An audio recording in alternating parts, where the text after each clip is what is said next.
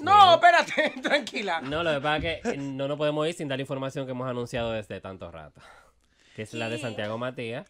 y tengo suéltalo. que leer el resultado. ¿Qué pasó? Porque para que enti- él mismo eh, eh, posteaba Santiago, que para que entiendan la publicación que él hacía, eh, dice que el señor Vaquero lo había demandado por 10 millones de pesos por publicar una canción de él junto a el mano oficial en alofoquemusic.net.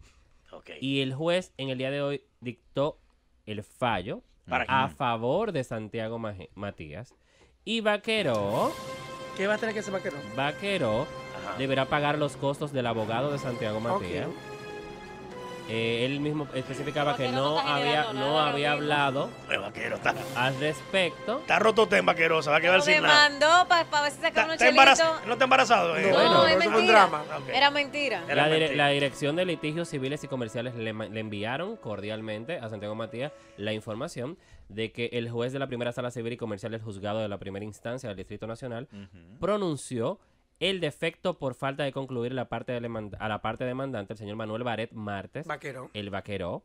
En consecuencia, ordenó el descargo puro y simple de la demanda interpuesta en su contra y, como consecuencia a lo anterior, condenó al señor Manuel Baret al pago de las costas del procedimiento a Legal. favor de la persona de Santiago Matías. La sentencia fue dada invoice. La misma estará disponible para retirar en aproximadamente 15 días laborables. Eh, Bueno. este fue el comunicado que le envían, parte del comunicado que ¿Tú se le envió a? Santiago Matías en el día de hoy. En su momento yo me llegué a enterar de esta información, de la situación que estaba pasando con esta canción. Ajá. Cuando no sé exactamente eh, lo que dice la canción, porque ni me preocupé por buscarla, pero cuando ponías en Google el nombre del tema, salía en todas las plataformas de páginas Ajá. de música Sí. el tema. Pero la del dolor de Vaquero, supuestamente, fue, Fue la, de, la de Alofoque. Alofoque, claro. Y entró la- el de- lo que decía la demanda, que sus hijos no podían comer. Ajá. Por- Porque parece que tiene ciertas malas palabras, que la imagen de, no su, de su papá y que no sé qué el pato, la guacharaca. O sea, por ahí va la línea de la demanda. Serio? ay, En ay, ay, serio. ¿En serio? Sí, que estaban en Y yo depresión. me echo puerta yo.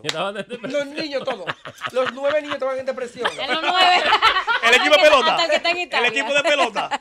¡Te lo juro! No. Señores, mira. la línea. Señor, entre Vaquero y Mozart La Para no se, va, no se saber quién se va a ir a la quiebra más rápido. Pero que yo no entiendo. No, y por lo menos Mozart todavía está picando. Mozart. Sí, Pero, pero Mozart es por, por la separación de claro, bienes. Mozart está picando Y son todavía. Y- Son 700 porque nada más tiene una niña, pero Vaquero tiene...